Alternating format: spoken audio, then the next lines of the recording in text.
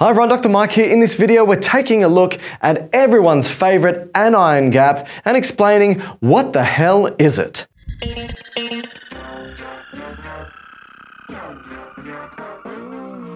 So to begin, we need to talk about the bicarbonate buffer equation. So 99.8% of the acids that our body produces comes from carbon dioxide, which we know our cells and our tissues produce when we try to make energy. Now, this carbon dioxide we need to breathe out. And so we need to take this carbon dioxide and we need to send it to our lungs from our tissues. Now, we do that by throwing it into the bloodstream, and we know that most of the blood is filled with water. So remember that your blood, 55% of it is plasma and 92 to 95% of that is water. So the carbon dioxide will mix with the water in our blood. Now that produces something called carbonic acid, which is H2, C, O3, and that's carbonic acid. And as we know, the definition of an acid is it hates itself, right? It splits itself apart to produce a hydrogen ion. So we pluck a hydrogen ion off that. What are we left with? We are left with an H, a C, two, uh, three O's, and a negative. And that's called bicarbonate. This is a reversible equation. It can go in the opposite direction.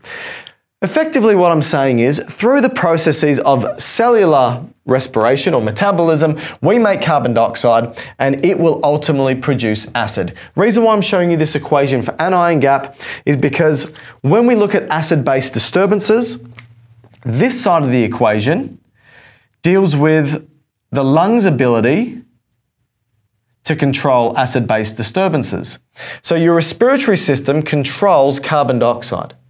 If you increase the amount of carbon dioxide, you will increase the amount of hydrogen ions in your blood makes it more acidic. So we call this a respiratory acidosis. So if we have an increase in carbon dioxide, we can have what we call a respiratory acidosis. Now, if we have a reduction in carbon dioxide, so the increase is we're retaining it, right? We're not breathing it out. So anything that will allow for us to retain carbon dioxide is going to produce a respiratory acidosis. Anything that allows for us to breathe out too much carbon dioxide, meaning we reduce the amount of carbon dioxide in our bloodstream, so hyperventilation, for example, that can cause, if that's lower, it produces less of that. So less hydrogen ions, making it more basic or alkalinic. So this is called a respiratory alkalosis. So this is an easy one. The respiratory acidosis alkalosis simply depends on how much CO2 we're retaining or breathing out. This end of the equation, however, has to do with these two things. Now, these two things are regulated by our kidneys, not our respiratory system. And so, effectively, if you have an increase in hydrogen ions or a decrease in bicarbonate, right? Because bicarbonate can mop up hydrogen ions and push the equation in this direction. So if we have an, either an increase of that or a decrease of that, so there's less of it to bind to hydrogen ions, this is what we call a metabolic, a metabolic acidosis. Now, on the flip side, if we have less hydrogen ions and more bicarbonate ions, we have a metabolic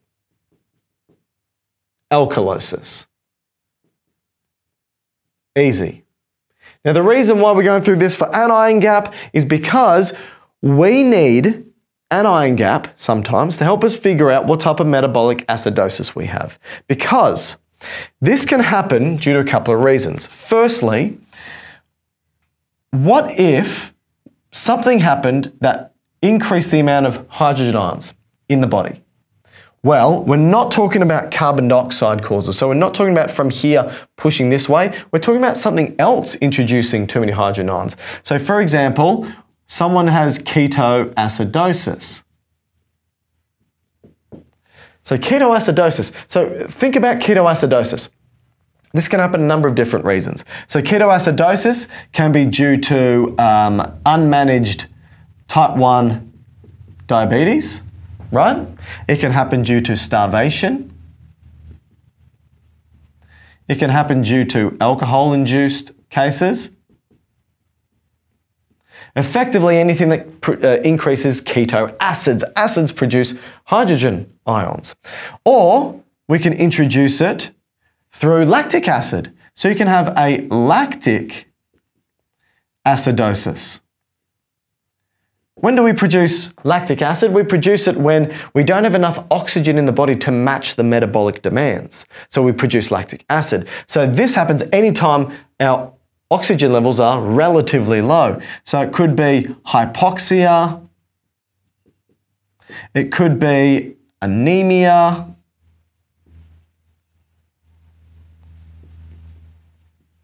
it could be high altitudes, it could be shock. There's a lot of things that can cause it, for example. All right, it could be uh, strenuous exercise, or we could increase the hydrogen ions from uh, me the metabolism of methanol or ethanol, which I said alcohol there, um, or even like antifreeze, right?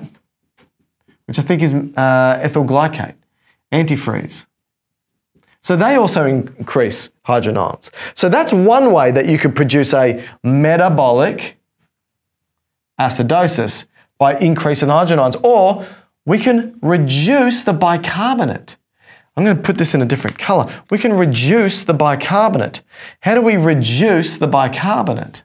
Well, we need to excrete it too much. So how do we excrete too much bicarbonate? Diarrhea. Remember that the um, pancreas produces bicarbonate to neutralize the acid in the stomach.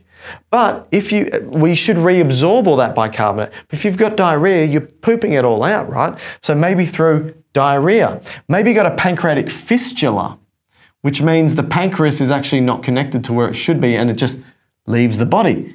Pancreatic fistula. Maybe you've got a problem with the kidneys itself and you just peeing out the bicarbonate, right? So kidney failure. So any of these could reduce the bicarbonate. Now, the reason why, again, I'm highlighting this is, what if somebody comes to you, they've got a blood pH, right?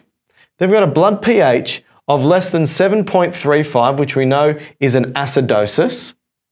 So we go, okay, they've got acidosis. I know that. How do I know whether it's a respiratory acidosis or a metabolic? And you look at the CO2 and it's barely changed. And you go, okay, well, it's not CO2 because you'd expect the CO2 to be really high. But you have a look. You need to determine, well, how do I know whether it's a metabolic acidosis and alkalosis? You could go, oh, I'll just measure the hydrogen ions. Well, we already know it's acidic. So they're going to be high regardless of whether that's low or that's high right? They're going to be high regardless because it's an acidosis.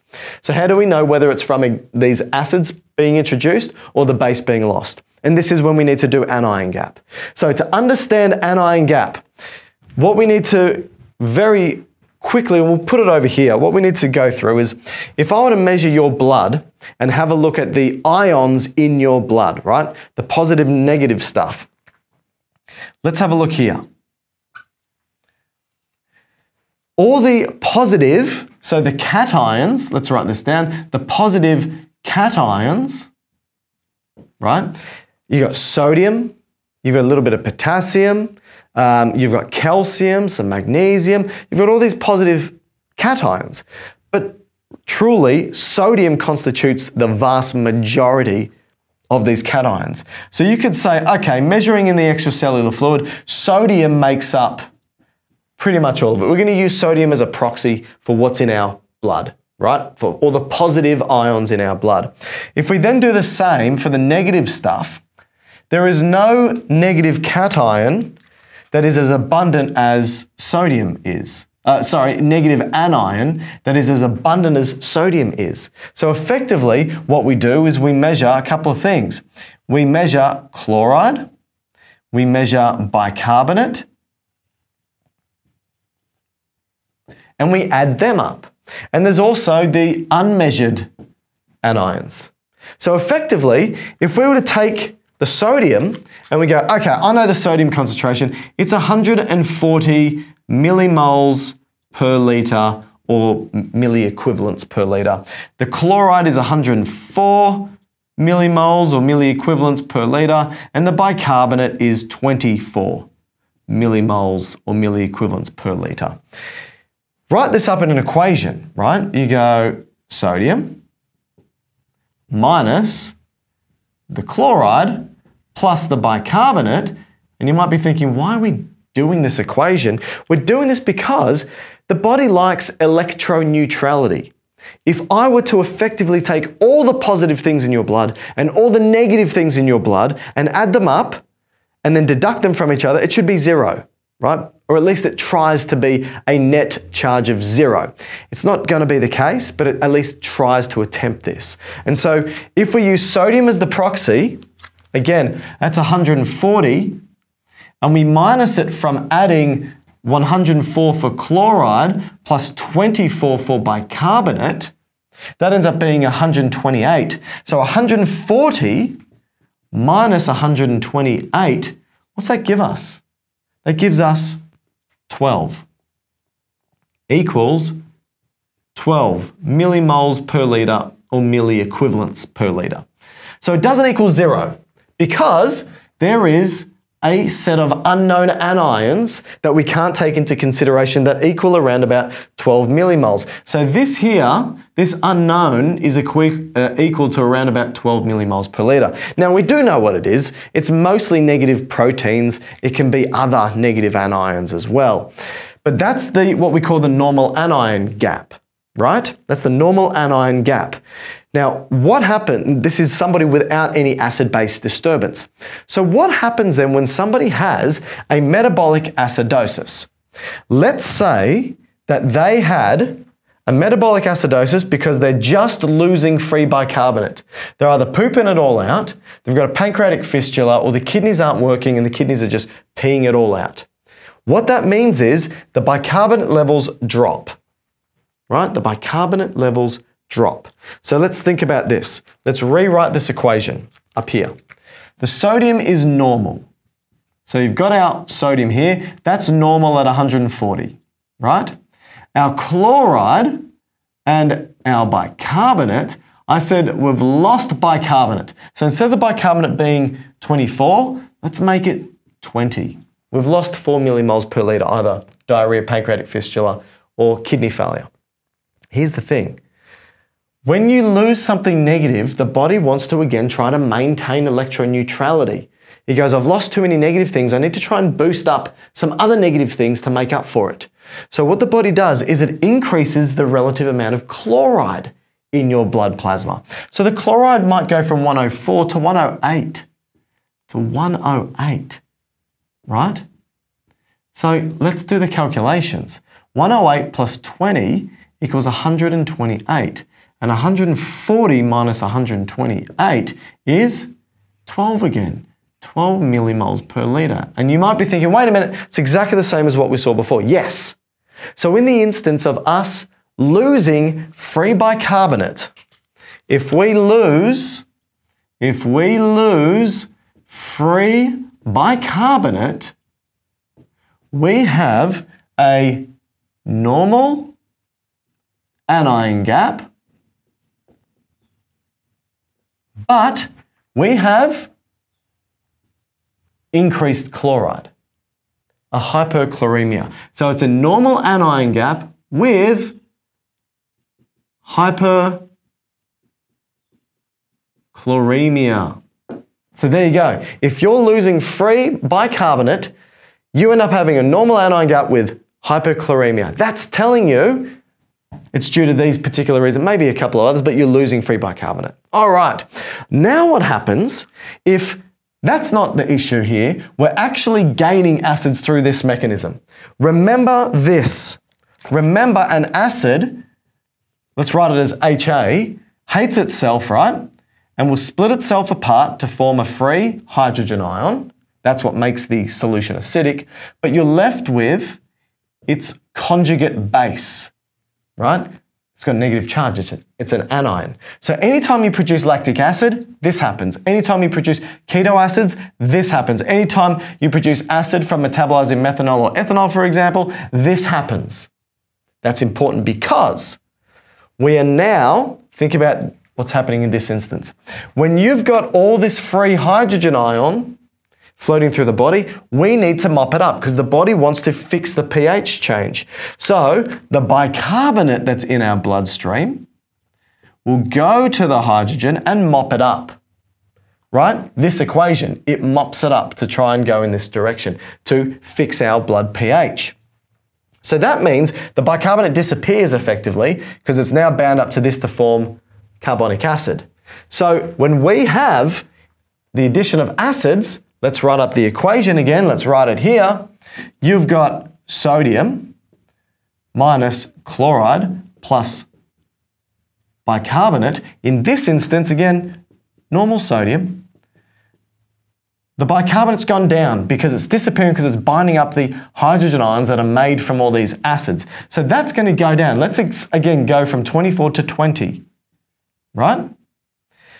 Now, you might go, okay, I know what happens here. When the bicarbonate goes down, we want to maintain electron neutrality so the chloride goes up. We've spoken about this. No, the chloride doesn't go up because it doesn't need to maintain electron neutrality because all of these conjugate bases have been released with their negative charge. They're maintaining electron neutrality. So there's no urgency for chloride levels to go up. So chloride remains normalish. So let's say at 104. So now we've got 104 plus 20. We end up having 140 minus 124. And what does that give us? It gives us an anion gap of 16 millimoles per litre. We've now got an increased anion gap. Now the normal anion gap can be anywhere between 8 to 12, generally speaking, millimoles per litre sometimes written as milliequivalents per litre, which is probably more accurate. 8 to 12. Here we've gone too high. So now what we've got, due to an increase in acid production or exogenous acids being introduced, we have a, when we've got um, increase acid production, what we end up getting is an increased, or we could say high anion gap, high anion gap. No hypochloremia. So, again, the whole purpose of measuring the anion gap is, to, is to determine the differences of metabolic acidosis. Is it due to a loss of bicarbonate or is it due to a gain in acids? If you've got the loss of bicarbonate, you will have a normal anion gap with hyperchloremia, or if it's due to an increased acid production, you're going to have a high anion gap with no hyperchloremia. I really hope that that makes sense.